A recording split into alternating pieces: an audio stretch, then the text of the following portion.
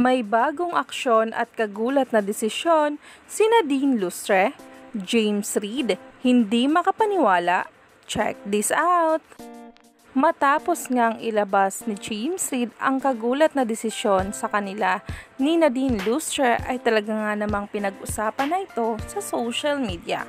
Umani pa nga agad ito ng samot-saring reaksyon galing mismo sa mga Jaden fans at Soko Nation kung saan marami nga ang nagtaka, marami nga din ang nagulat dahil sa desisyon na ito mas lalo nga daw nagulo ang lahat kaya naman sa unti-unting pagbubuking nga nila sa totoong estado nila ngayon ay talaga nga namang kagulat-gulat ang desisyon na ginawa nga ni Nadine Lustre upang ibulgar ang totoo ngang estado nila ni Jaime James Reid kung saan din ay nagtitrending na nga at umani ito ng samot-saring reaksyon galing mismo sa mga Jaden fans at Soko Nation.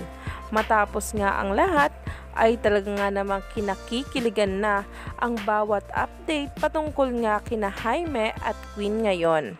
At dahil din nga dyan sa patuloy na pagpo-post at update nga ng Mamshis, ang magbalay na si Tita May at Tita Ella ay talaga nga namang sunod-sunod na rin nga ang kaalaman patungkol nga sa relasyon ng dalawa.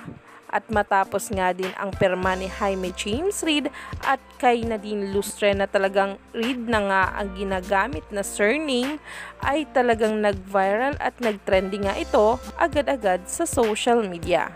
Matapos nga noon, marami na nga ang napansin ng mga Jadin fans at Soko Nation. Kaya naman kaabang-abang na nga ang mangyayari next year kung saan nga din ay may hinahanda na nga itong project sa LA, USA na pagsasamahan nga daw mismo ni James Reid at Nadine Lustre na talaga nga namang comeback is real.